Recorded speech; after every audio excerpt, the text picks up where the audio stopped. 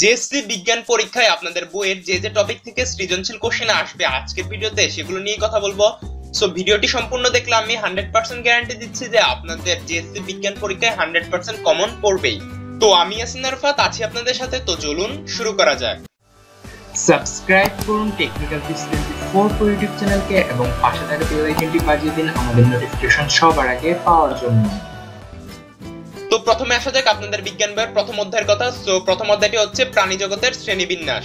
তো, এই অধ্যায় থেকে আপনারা যে যে টপিকগুলো ভালো করে পড়বেন, সেগুলো হচ্ছে porifera, cnidaria platyhelminthes nematoda, annelida arthropoda এবং কর্ডাটা সো আপনারা এই টপিকগুলো ভালো করে পড়লে এখান থেকে আপনারা একটা সৃজনশীল কমন পেয়ে যাবেন।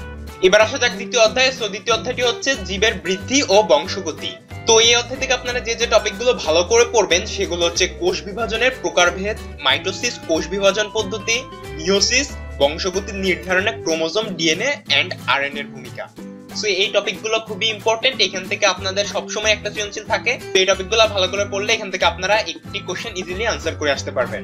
তো এবার আসা যাক তৃতীয় অধ্যায়। সো তৃতীয় অধ্যায় থেকে আপনারা ব্যাপন অভিশ্রবণ এবং উদ্ভিদে পানীয় খনিজ লবণ শোষণ এই টপিকগুলো খুবই ভালো করে পড়বেন। এখান থেকে আপনাদের ক এবং ক্ষয়ে কোশ্চেন আসতে পারে এবং সৃজনশীলও কোশ্চেন দিয়ে দিতে পারে। এবার আসা যাক চতুর্থ অধ্যায়। চতুর্থ অধ্যায়টি হচ্ছে উদ্ভিদের বংশবৃদ্ধি। তো এই অধ্যায় থেকে আপনারা যৌন জনন, সপুষ্পক উদ্ভিদের জননঙ্গ ফুল, পরাগায়ন নিষিক্তকরণ ও ফলের উৎপত্তি বীজের গঠন ও অঙ্কুরোদ্গম। এই টপিকগুলো খুব ভালো করে পড়বেন এখান থেকে ইনশাল্লাহ আপনারা একটি কমন পেয়ে যাবেন। তো এবার আসা যাক পঞ্চম অধ্যায়, অর্থাৎ সমন্বয় ও নিঃসরণের অধ্যায়। তো এই অধ্যায় থেকে আপনারা স্নায়ুকোষ বা নিউরন, মস্তিষ্ক, প্রতিবর্ত ক্রিয়া এবং রেচনতন্ত্র এই কয়েকটি টপিক ভালো করে পড়ে যাবেন এখান থেকে ইনশাল্লাহ আপনারা একটি সৃজনশীল কমন পেয়ে যাবেন। তো এর মধ্যে আপনারা স্নায়ুকোষ বা নিউরনটা খুবই ভালো করে পড়বেন, কারণ এখান থেকে আপনাদের সবসময় একটি কোশ্চেন থাকে এবং পাশাপাশি স্নায়ুকোষ বা নিউরনের চিত্রটা একটু ভালো করে দেখে যাবেন। এরপর আসা যাক ষষ্ঠ অধ্যায়। তো ষষ্ঠ অধ্যায়টা হচ্ছে পরমাণুর গঠন। এই অধ্যায় থেকে আপনারা পরমাণুর ধারণা বিকাশ ও গঠন, পারমাণবিক সংখ্যা, ভর সংখ্যা ও আইসোটোপ এবং ইলেকট্রন বিন্যাস এই কয়েকটি টপিক ভালো করে দেখে যাবেন। ইনশাল্লাহ এখান থেকে আপনারা কমন পেয়ে যাবেন। তো এরপর আসা যাক সপ্তম অধ্যায়। তো সপ্তম অধ্যায়টি হচ্ছে আপনাদের পৃথিবী ও মহাকর্ষ। তো এই অধ্যায় থেকে আপনারা অভিকর্ষ ও অভিকর্ষ স্তরণ, ভর ও ওজন, বিভিন্ন স্থানে অভিকর্ষ স্তরণ ও বস্তুর ওজন এবং ওজনহীন। তো এই কয়েকটি টপিক ভালো করে পড়ে গেলে এখান থেকে আপনারা একটি সৃজনশীল কমন পেয়ে যাবেন। সরি এখানে প্রিন্টিং মিস্টেকের কারণে ওজন বানানটা ভুল এসছে। এরপর আসা যাক অষ্টম অধ্যায়, অর্থাৎ রাসায়নিক ও বিক্রিয়া এই অধ্যায়ে। তো এই অধ্যায় থেকে আপনারা বিভিন্ন রাসায়নিক বিক্রিয়া, প্রতিস্থাপন বিক্রিয়া, রাসায়নিক বিক্রিয়ায় তাপ শক্তির রূপান্তর এবং শুষ্ক কোষ। সো এই কয়েকটি টপিক ভালো করে পড়ে গেলে এখান থেকেও আপনাদের একটি সৃজনশীল কমন পেয়ে যাবেন। এরপর আসা যাক নবম অধ্যায়। সো নবম অধ্যায়ে রয়েছে আপনাদের বর্তনীয় জলবিদ্যুৎ তো এই অধ্যায় থেকে আপনারা পড়বেন রোধ, তড়িৎ বর্তনী, ফিউজ বিদ্যুতের কার্যকর ব্যবহার ও অপচয় রোধে সচেতনতা। সো এই কয়েকটি টপিক পড়ে গেলে এখান থেকে আপনাদের হান্ড্রেড পার্সেন্ট একটি সৃজনশীল কমন থাকবে। অ্যান্ড এখান থেকে আপনারা ফিউজ এবং তড়িতের কার্যকর ব্যবহার ও অপচয় রোধে সচেতনতা এই দুটি টপিক ভালো করে পড়বেন এবং রোধ এবং বর্তনী থেকে কিছু ম্যাপ আসতে পারে। সো সেগুলো মোটামুটি দেখে যাবেন। এখান থেকে হান্ড্রেড পার্সেন্ট শিওর থাকেন আপনাদের একটি কোশ্চেন কমন থাকবে।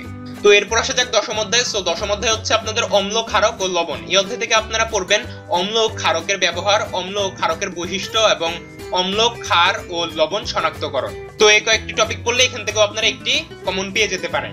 তো এরপর আসা যাক অধ্যায় এগারো অর্থাৎ আলোর অধ্যায়। সো এই অধ্যায় থেকে আপনারা আলোর প্রতিসরণ, পূর্ণ অভ্যন্তরীণ প্রতিফলন ও সংকট কোণ এবং মানব চক্ষু।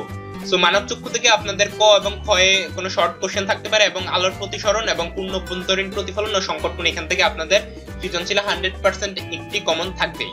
তো এই টপিকটা আপনারা মিস করবেন না। তো এরপর আসা যাক, বারোতম অধ্যায়। সো বারোতম অধ্যায়টি হচ্ছে মহাকাশ ও উপগ্রহ। তো এই অধ্যায় থেকে আপনারা প্রাকৃতিক উপগ্রহ, কৃত্রিম উপগ্রহের কক্ষপথ চলা বা ভ্রমণ কৃত্রিম উপগ্রহের ব্যবহার ও গুরুত্ব।